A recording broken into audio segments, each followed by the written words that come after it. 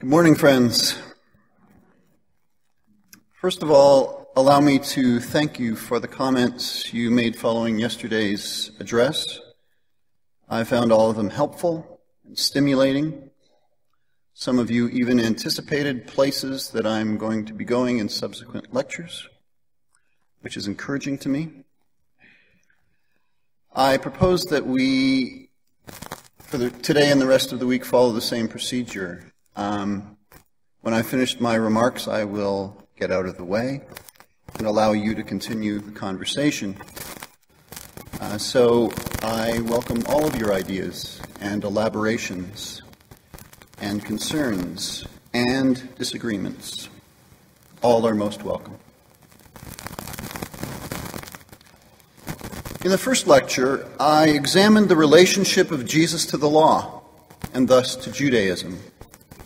In this second lecture, I want to examine the relationship between Quakerism and Christianity. And will suggest that as Jesus is to Judaism, so Quakerism is to Christianity. As Jesus criticizes Jewish formalism, so Quakerism is a criticism of Christian formalism. The antagonists have changed names. Quakers take on hireling ministers and religious professors, that is, those who profess the faith, rather than scribes and Pharisees. But the structure of the two conflicts contains remarkable parallels. I should admit at the outset that not only is the story I am telling here being staged, that is, presented in a way to highlight certain aspects for specific purposes and allowing others to recede into background horizons, but that the stories upon which I am basing my story were to some large extent staged as well. I attended a lecture by a Jewish scholar friend of mine some years ago in which he opened up for the audience some Talmudic texts and bedazzled us with the insight and wisdom of the rabbis whose discussions they record. At the end of the talk, he turned to his mostly Christian audience and said of these admirable rabbis, By the way, most of you would call them Pharisees. In my first lecture, I worked to show that the Pharisees were not the one dimensional legalists they are sometimes pictured as in the Christian scriptures, and that Jesus' relationship to them and the law they championed cannot be reduced to one of simple opposition. Though critical of them, he was as much with them as against them, as I have claimed, or as I have claimed, against them in order to be with them. The polemics, that is, confrontation, of early Quakerism with respect to the Christianity of its day can be understood as similarly staged. Quaker scholars are, for the greater part, now convinced that what has come to be known as the Barbour Nuttall thesis, that early Quakerism is best thought of as a radical form of Puritanism, has won the day over against the thesis of Rufus Jones, that early Quakerism was a species of mysticism. That is, the Quaker arguments with the Christians of their day like the arguments between Jesus and the Pharisees, were a family affair. And indeed, the viciousness of the broadsides issuing from both sides had all of the marks of a family feud. Quakers sought not to reject Christianity, but to call it to faithfulness, to fulfill it. That is, I am drawing here a parallel. As Jesus sought to fulfill the law, which was, with respect to the law, neither an unquestioning and uncritical adherence, nor a disdainful rejection or neglect, so Quakerism can fruitfully be thought, or so I am proposing, as a fulfillment of Christianity. As Jesus plunged deeply into the foundations of Judaism to call Judaism to be true to itself, so early friends sought to revive primitive Christianity in an attempt to call the church to faithfulness, to call it back to the light that had been eclipsed by the religious conventions of men. And where Jesus saw the fulfillment of the law necess- necessitated the violation of any and all particular laws, however valid, insofar as they were lived outside of the spirit of the law, friends recognized that faithfulness to Christianity required going beyond any particular formation of it, even their own. That is, I am trying to think here differently beyond the polarized choices of either unqualified affirmation or outright surpassing one of the most perplexing and contentious issues plaguing contemporary Quakerism the relationship of Quakerism to Christianity. So, what is the problem? When I was a boy growing up in the world of evangelical friends, I often had quoted to me and was made to memorize the scripture, Be not ashamed of the gospel of Christ. This charge was often supplemented in a not so subtly coercive move by a saying of Jesus Everyone, therefore, who acknowledges me before others, I will acknowledge before my Father in heaven. But whoever denies me before others, I will also deny before my Father in heaven. The clear implication was that, on pain of my salvation, I was to boldly and fearlessly confess my Christianity. And thought experiments were conjured up to make this point. If a group of men came bursting into the meeting with guns, threatening to kill all Christians, would we have the courage to confess our Lord? Well, the men with guns never came. But that doesn't mean that my willingness to confess Christianity hasn't been put to the test. Indeed, it has. Frankly, over the years, it has become harder and harder to admit to being a Christian for very many of us, even for those of us who still long to do so. But that is not because we are ashamed of the gospel of Christ, but because we are ashamed of what all has been perpetuated in the name of that gospel. The Quaker historian Thomas Hamm quotes an unidentified Universalist friend as saying, The patriarchal Judeo Christian tradition subjugated women, contributed to the imperialistic destruction of indigenous cultures, and fostered violence down to the present day. And given that it is the source of pogroms, racism, sexism, slavery, colonialism, homophobia, oppression of the poor, and degradation of the environment, it is not surprising to ask with another how can others claim to be Quaker and live a spiritual life devoted to such a Christ of constriction and oppression? Tom Hamm points out this is an extreme statement even among Universalist friends. Indeed, Christianity has also, as often, provided an impetus to positive social change and hospice and grace to those most in need. But in our clearer moments, how can we not admit that these friends have a legitimate concern?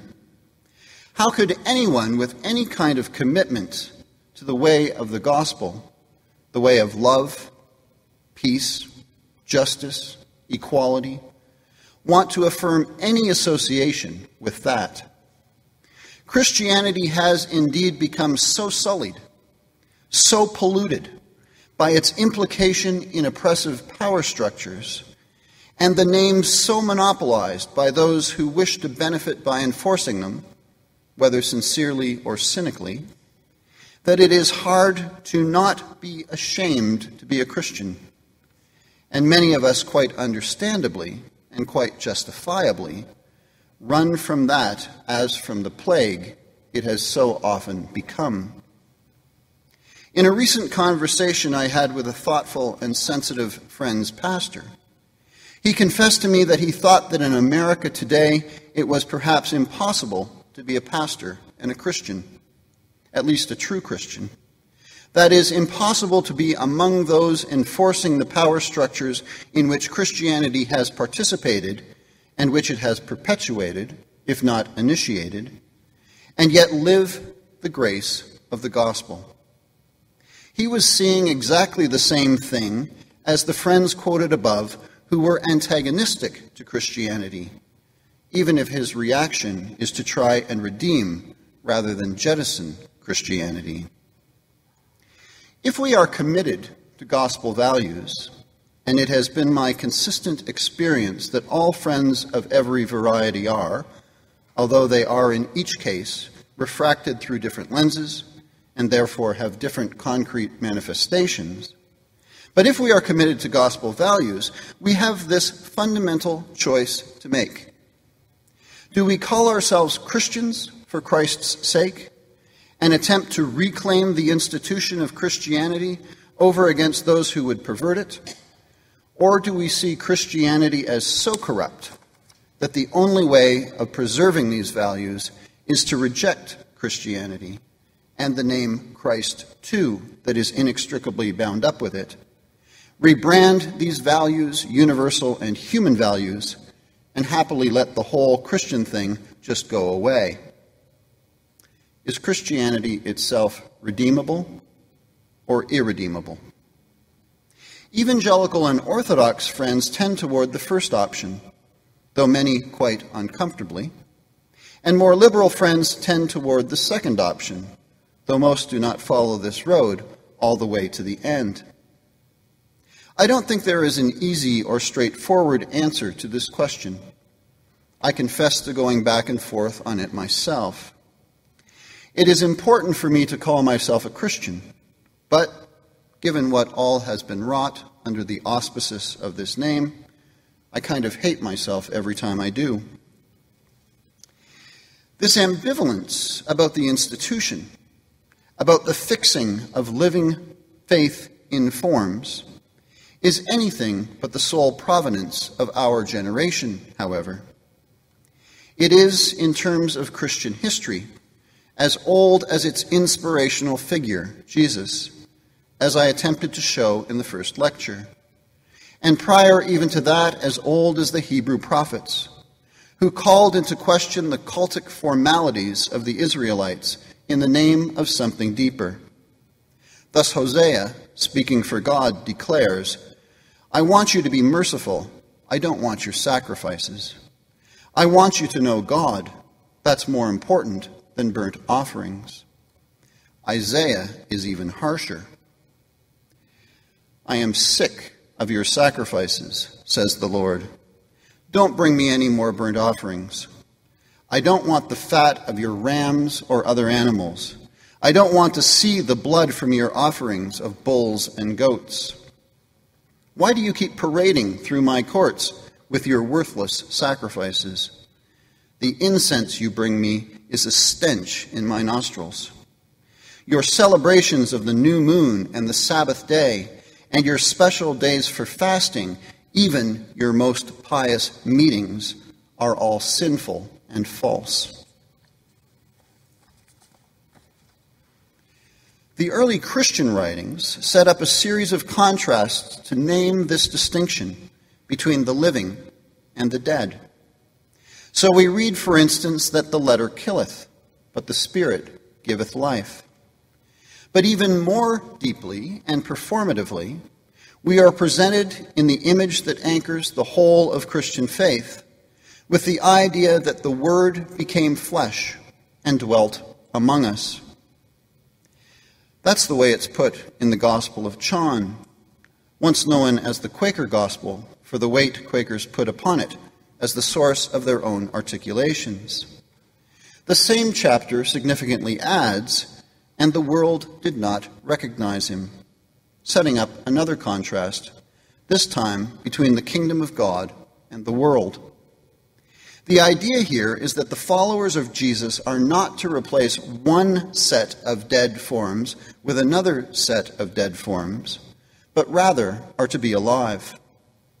The living Spirit of Christ, the Word, is irreducible to mere words goes beyond the forms recognizable in the world always exceeds the words in which it is articulated and the forms that it takes. The living Word, the Christ, becomes flesh, finds concrete form in the world, but is not of this world, and his followers are therefore instructed in a now common phrase that is a remarkable distillation of biblical teaching, though not found in the Bible itself, to likewise be in the world, but not of the world. In each case, there seems to be the life, on the one hand, and the form that that life takes on the other. And the form that the life takes is never to be mistaken for the life itself.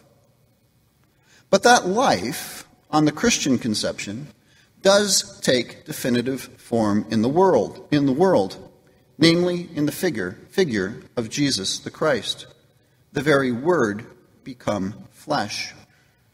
The way of life preached and modeled by Jesus is not just anything at all. It has bite in the world. It calls Christians to live in this way rather than that.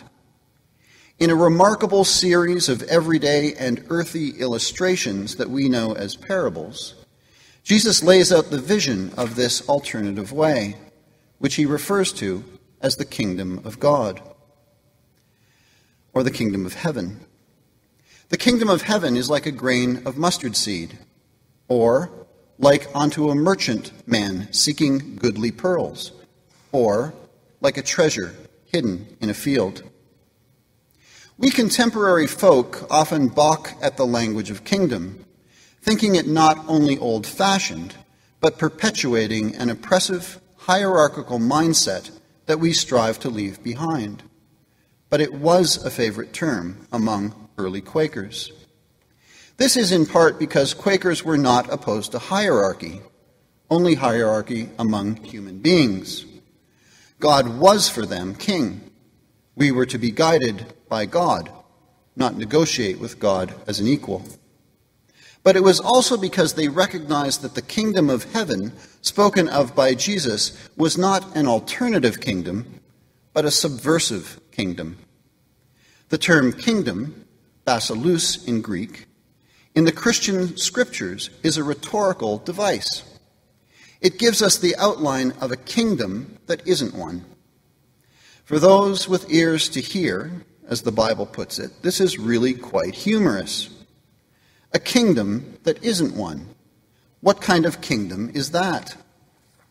This confused Jesus' followers at times, who didn't always get it disappointed the zealots who aspired to armed insurrection, and certainly confused the Roman authorities who saw it as a potential military threat, with the obvious results.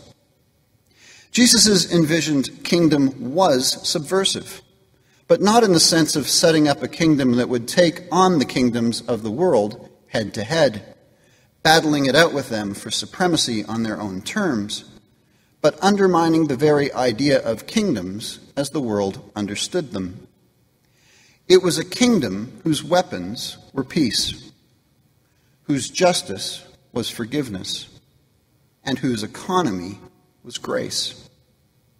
And while Constantine in the fourth century, and a long, steady line of others since, sought to wed the kingdom of God to the kingdoms of this world, the ultimate power couple, there has always been a smattering of God's people, sometimes referred to as a faithful remnant, who desired this other kingdom and have often withdrawn from the world in an attempt to find it. My kingdom is not of this world, Jesus says, but it is not otherworldly in the sense of irrelevant for the world.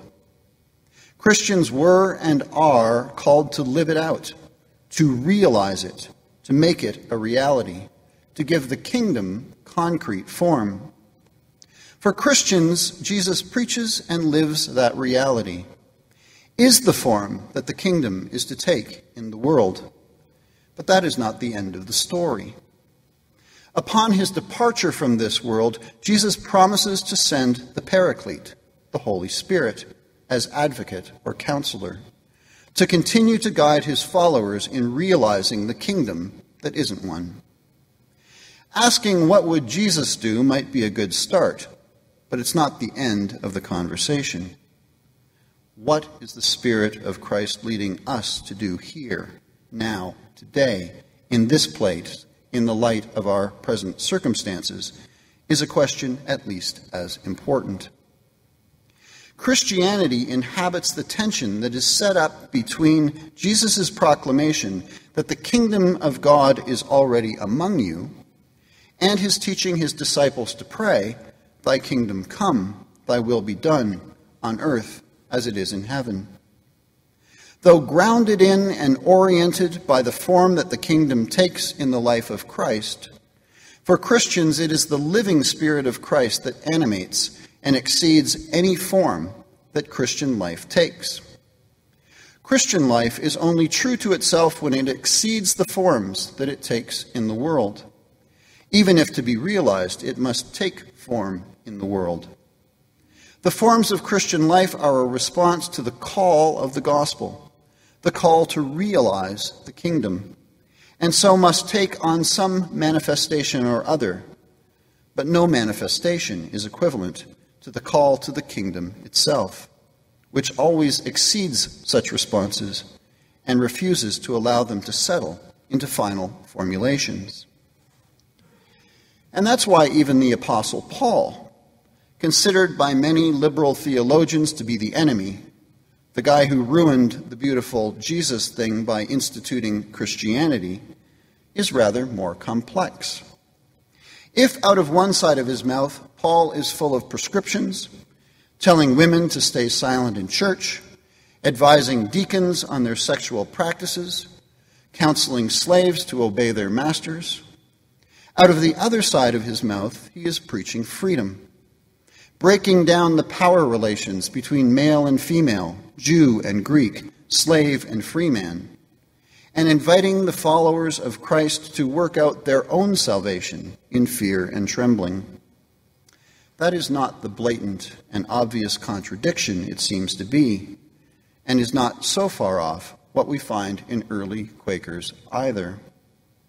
Indeed, Quakerism was born of a disillusionment with the forms that Christianity had taken in the mid 17th century and the experience of the life they had obscured.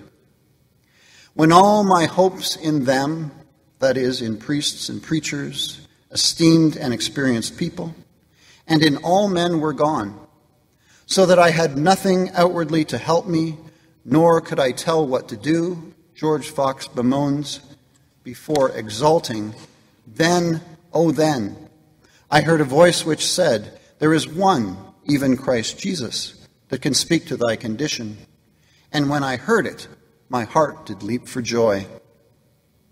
The language that Fox and other early friends found to express this concern was that of a contrast between inner and outer. This metaphor was not meant to communicate topographical facts was not meant to suggest that Christ was literally inside of them as opposed to outside of them, although the detractors of Quakerism often took it that way, hearing in the Quaker affirmation of the Christ within a denial of the historical Christ, and a few Quakers heard it that way too, though neither the majority nor most of the principal publishers of truth. Preaching Christ as inside rather than outside could become a dead formality as easily as the reverse.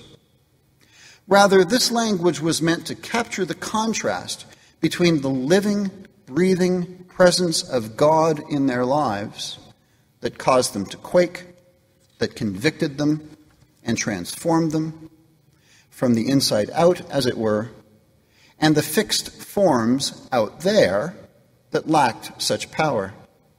And this suspicion of forms continues to animate us Quakers today. While remaining suspicious of forms outside of the life, already in the first decade, Quakers also recognized the need to give form to that life in the world. And they began to organize the people of God, which they did not hesitate to refer to as the church, and to articulate, that is, give form to, the Quaker experience.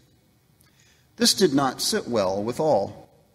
Some immediately feared the return of the forms from which they had lived their Quaker experience as an emancipation.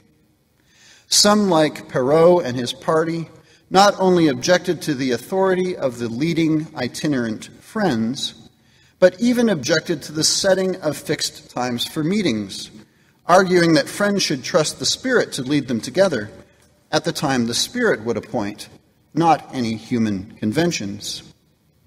For good or ill, more practical heads prevailed.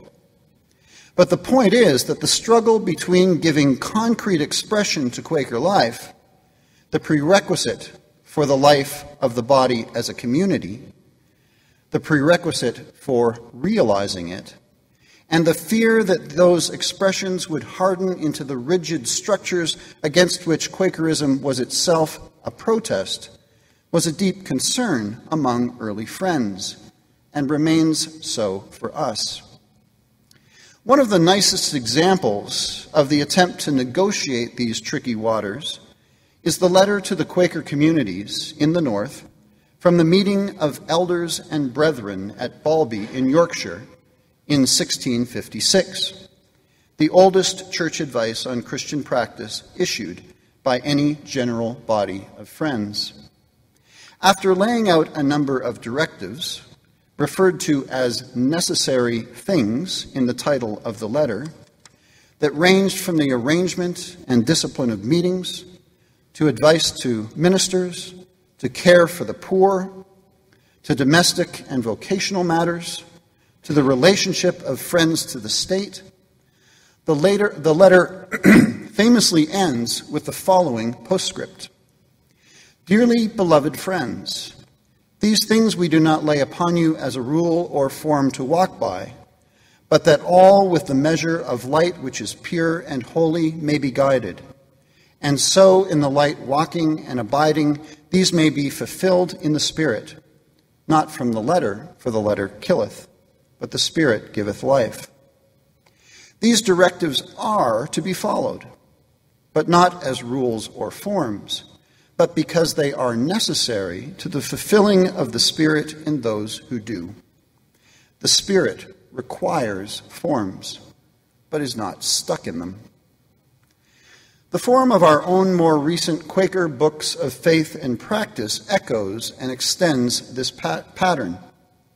In providing us with a series of evocative and inspirational quotations from significant periods and people in our tradition, rather than with a set of rules that Quakers must follow, we are presented not with a creed that dictates what Quakers must believe, but with an account of what Quakers have believed not with a rule book for what, for what Quakers must do, but with an understanding of what Quakers have done. But as we know, these reports on past experience are not insignificant to our ongoing Quaker life. Our investment in them is not antiquarian, but futural. They invite us to find ourselves in this heritage as a way of moving forth of moving into an unanticipated elsewhere. Like the letter from the elders at Balby of 350 years ago, they invite us to participate in the living spirit of Quaker faith in a concrete but non definitive way. My suggestion is that we do well to understand early Quakerism, that is, the original impulse of the Quaker movement, that opens up the space and provides both the inspiration and the parameters for the subsequent unfolding of the Quaker tradition, as reiterating at a radicalized level, as struggling with anew the same dynamic tension between a living relationship with God and the necessary but potentially stultifying forms that we find in Jesus' encounter with the formalism of Jewish law. That is, my suggestion is that we do well to understand early Quakerism as an attempt to fulfill Christianity. But it could only be an attempt at the fulfillment of Christianity because Christianity itself struggled with the same tension. Was itself such an attempt at fulfillment, though mostly a failed one on the Quaker reading, a struggle Christianity in its turn inherited from its progenitor, Judaism. It is, therefore, as much a perversion of Jesus to read him as either a wholesale adoption of Judaism or as a rejection of it, as it is a perversion of Quakerism to read it as either a wholesale adoption of Christianity or as an outright rejection of it. My proposal is that we do not understand Jesus' relationship to the law unless we get over the false choice between blind obedience and transgressive rejection, and begin to see this relationship aright as the one that the Christian scriptures refer to as fulfillment, which is precisely transgression for the sake of obedience, or an obedience that demands transgression. Just as Jesus saw himself not as a rejection of Judaism, but as its fulfillment, I am suggesting that we can only